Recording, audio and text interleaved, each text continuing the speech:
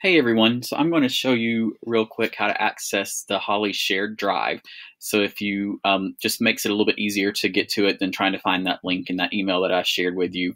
And if you've got some issues, this might straighten those out for you. So there are two different ways to access, and I'm going to start first with the how to access it with a Google account. So if you already have a Gmail account that you have uh, share with me, then you have access to that account. Now, I can add other accounts in there. So if you have multiple email addresses and you'd like for me to share them with all of them, please let me know. That just might make it a little bit easier on you to find everything. So I am logged into my personal Gmail account. In the upper right hand corner, you can see which account that you are in. And you can do this from any computer in the world. Uh, so as long as you can log into your Gmail, then you are good. I've also shared this with the info at Holly Theater account. There, that's actually the owner of the shared drive. So if you are at the theater and you are in the box office, you can get to it the same way just by being logged into the info at Holly Theater account, which is also a Gmail account. So from your Gmail account, in the upper right hand corner, you see this icon in the upper right hand corner that's got uh, these little boxes. That's called a waffle.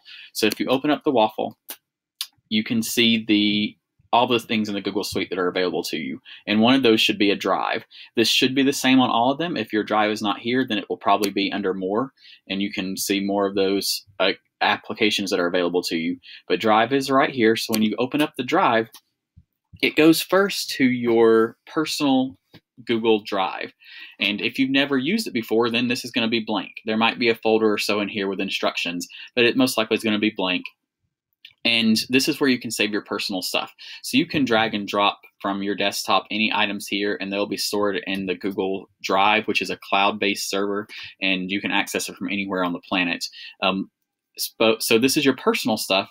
However, the the Google folder was shared with your account. So you have to come over on the left and click on Share with Me.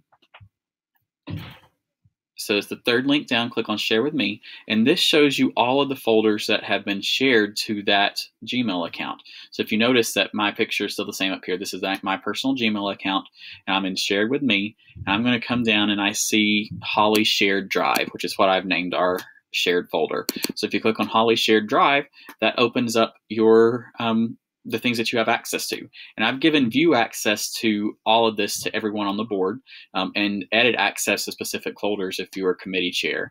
And if you need specific access granted to you, please let me know and I'll grant that as well. So once you are in here, you can see the different folders that I've created. Um, meeting minutes are in here, so you can open that. They're organized by year. You can go to 2018, and you can see the months that we've already had. Plus, you can open up March. You can see the agenda. You can see the minutes, and you can see the uh, PDF files of the things that Marina have uploaded for the P&Ls. Um, if you want to edit the agenda, you have edit access to the minutes, I believe. So if you open up the agenda, you can come in and you can type things into the agenda uh, wherever you want to um, and create those, and that just makes it a little bit easier for us all to get started at the meetings. Uh, another important folder that you need to note uh, is the contracts. So if you come back to the contracts and forms, I've got the Holly rental contract. I've got a Word document, which is editable. Plus, I've got the PDF in here.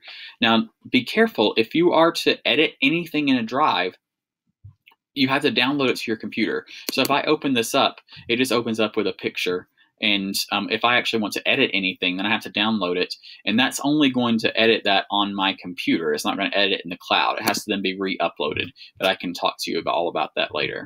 So play around with that. Let me know if you've got any questions, and I will help you however I can. Thanks.